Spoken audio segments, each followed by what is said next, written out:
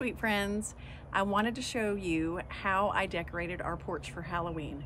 It was so simple and so easy. And so come along, I'm gonna show you what I did.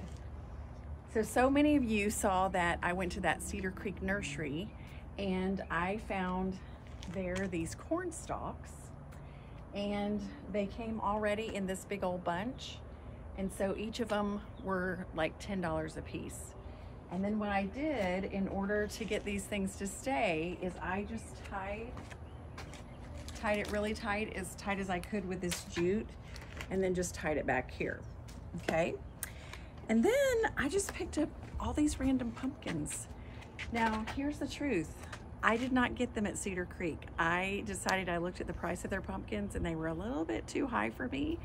And I had seen pumpkins at Walmart for pretty inexpensive.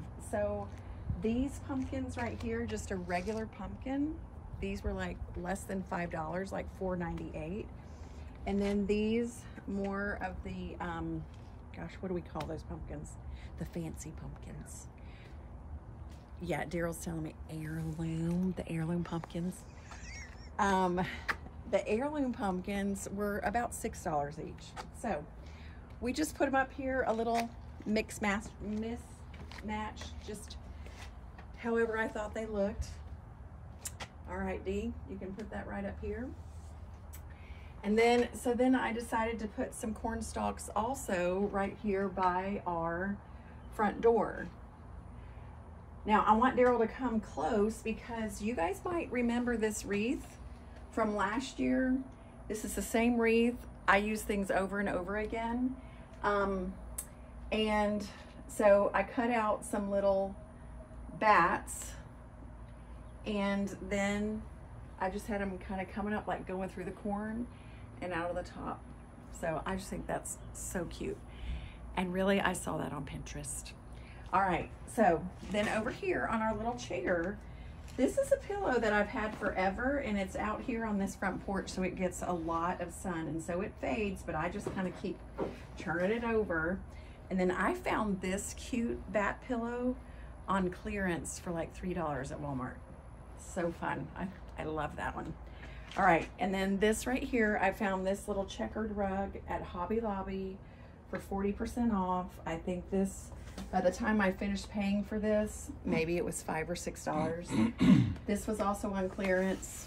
This is something I had from last year. But then I just stacked all the pumpkins around the corn and we're just praying. Look at me, Dean. We're just praying that they stay up. Not gonna lie, that maybe they've fallen a little bit, but for the most part, when you kind of support them with all the pumpkins, they do just fine. And then over here, I just have, I've told you guys this before, I have made, this little pillow is made out of a runner, um, a table runner, and I fold it in half and I sew it up and stuff it. I'll show you guys that sometime. And then this is just a pillow that I bought at Wal, no, this was at Target, I think for $5. So, you see that? So cute. All right. and I think that's it. But that's our cute little Halloween door. I love it. Do you like it, Dee? I do. I think it's beautiful. I know. I love it. All right, everyone. Thanks for coming and spending a little time with me on the front porch. And always remember to be stronger every day and do hard things.